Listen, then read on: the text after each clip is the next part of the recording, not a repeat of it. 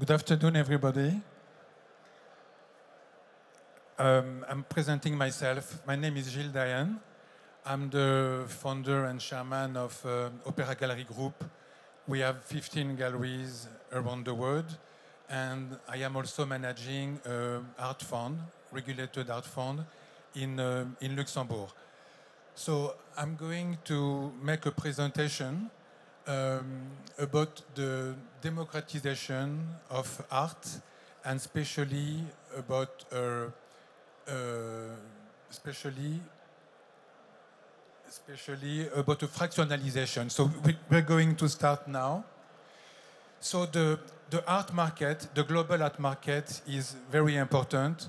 There is every year from 60 to 65 billion US dollar transaction between the galleries and between the auction house. The total market globally, worldwide, is 1.7 trillion in art, which is very, very important, even if you compare to the private equity. The private equity, as you can see on the slide, it's 3.4 trillion. So the art market is a very important uh, asset. Many wealth managers uh, can see now art as an investment. Around 40% of the collectors bought and are buying art as an investment. Art generates an increasing interest as an alternative investment asset. During the crisis in 2008, uh, with the with the subprime, the market collapse. You know, the stock market collapse, uh, the art market collapse also. Uh, but the art market, only for the blue chip names, came back only after two years. The SP 500 came back at the same level after five years. Here I put some example, you know, of, uh, of works and of prices uh, with masterpieces. So we can see the first one is a Marilyn Monroe by Andy Warhol. The painting was bought in 1992 in auction for 1 million US dollar. The price in 2015, 23 years after, went for 35 million US. And maybe you saw at the last auction at Christie's three months ago, they sold the Marilyn Monroe by Andy Warhol, the same quality as this one, for 195 million US dollar, which is 195 times the price of what it was in 1992. Here is a painting by Modigliani also, where we can see the gap from 26 million to 157 million in 15 years, and the work by Edward Munch. This is, uh, this is uh, something done by Deloitte, Deloitte and Finance, who could see that 30% of the wealth manager can see art as a rampart, you know, as a protection against the inflation. These people, there was only 15% in 2009 who were thinking about that. And 85%, 85% of the wealth managers think art and collectible should be part of a portfolio of wealth management offering. So the, we can see now that the technology is redefining investment opportunities in the premium art world. This is the art, the globally art. What we can see in this slide, the average buying painting by a private collector in Art Basel in 2021 was 274,000 US, which is a very big amount to come, you know, in the art market for people who are not familiar with art. This amount was only 126,000 US only one year ago.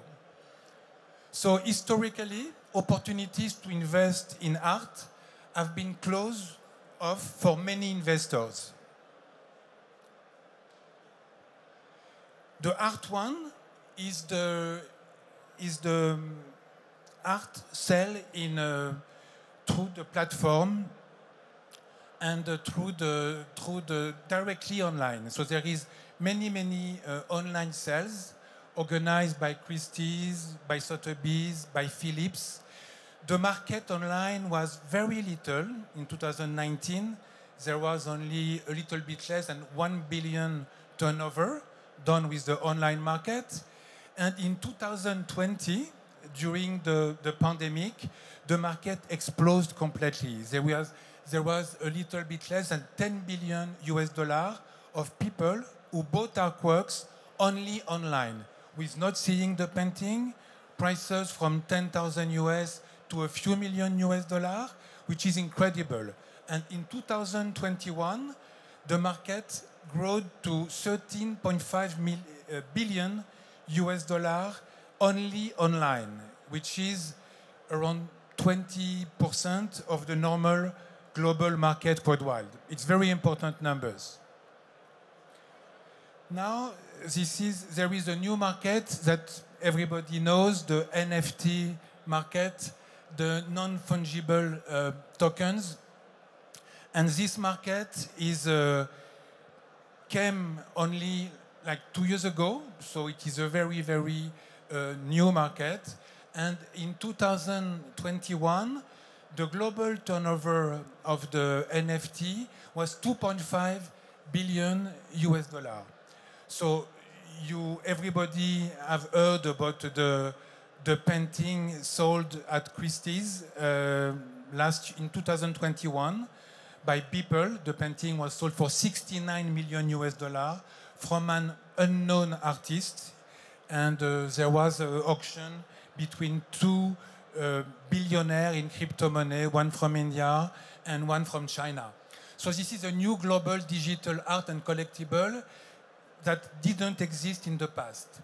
The blockchain process is providing a, a, a trace of, pro, of provenance and current ownership. So the young people, they, they, they love the NFT and they love the blockchain. But for the moment, the market is a, like a niche, and most of the artists uh, who, are, who have been offering in the, in the, in the different platforms like uh, OpenSea or SuperRare are artists who did only NFT works.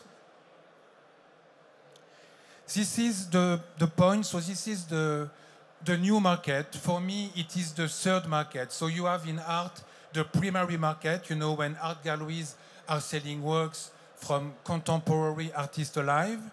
There is the secondary market also when the galleries is selling works that is bought, you know, from different places, private collectors, auction or other dealer. And the third market is this one. It is a fractionalization of artworks. What does it mean? It means, for example, this painting by Picasso, Les Femmes d'Alger, the painting went for 50 million uh, US dollars.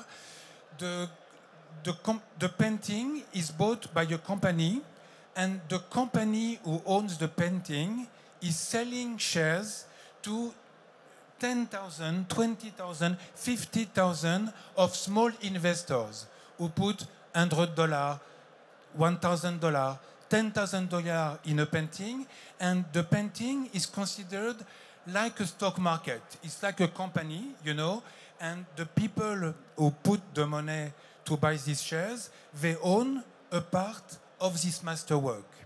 After, oh, what is the exit? So the exit, there is a few exits. The first exit is that when the company is buying the painting, so people put the money, they can come with a value at, let's say, 100 US dollars the share. And when the painting is sold, so after the, the, the shareholders, the small shareholders, get the, the capital of the painting plus the profit, you know, of the works. In the meantime, which is very important, in the meantime, all the shareholders can trade the, the, the shares they have, you know, through different people. So it is liquid. The market is liquid. So this is the future of premium art investment. My prevision for this market is that this fractionalization will be for me in five years one quarter of the market.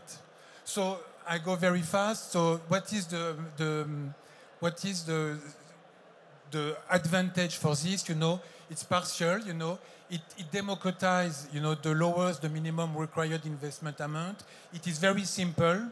It is transparent and liquid. In 2021, I've finished with this. Around 30% of the wealth management think that this, uh, this uh, ownership of art is something that you should have in your portfolio. That's it. Thank you very much.